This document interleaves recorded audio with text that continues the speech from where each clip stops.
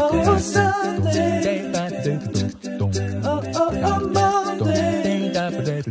Oh, Tuesday. Oh, Wednesday. Ooh, Thursday. Magkaka-baby na nga ba si Piolo Pascual at Casey Concepcion? Marami ang naghahangad na sa mga pagkakataong ito ay nararapat na magkakaroon na sila ng supling ni Christina at Papa P.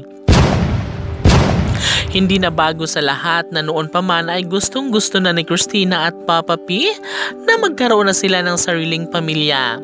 Subalit dumating sila sa puntong biglaang paghihiwalay na dapat sana ay masimulan na nilang bumuo ng masayang pamilya.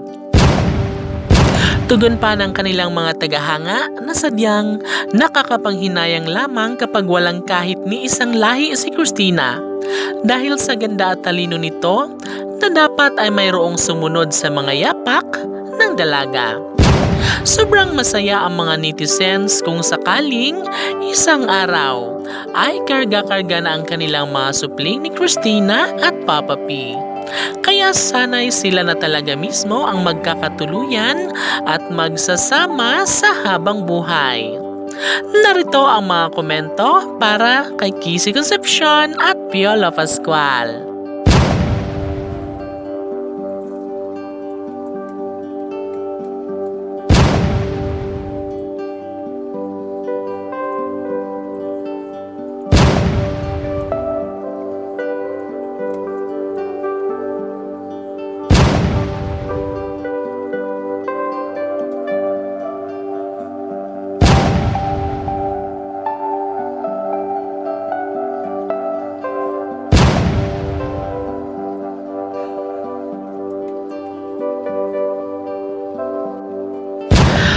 Sana'y mapagtagumpayan na ni Christina at Papa P ang kanilang pagmamahalang pinakahihintay ng nakararami na muli silang magiging masaya na magkakabalikan sa kanilang relasyon.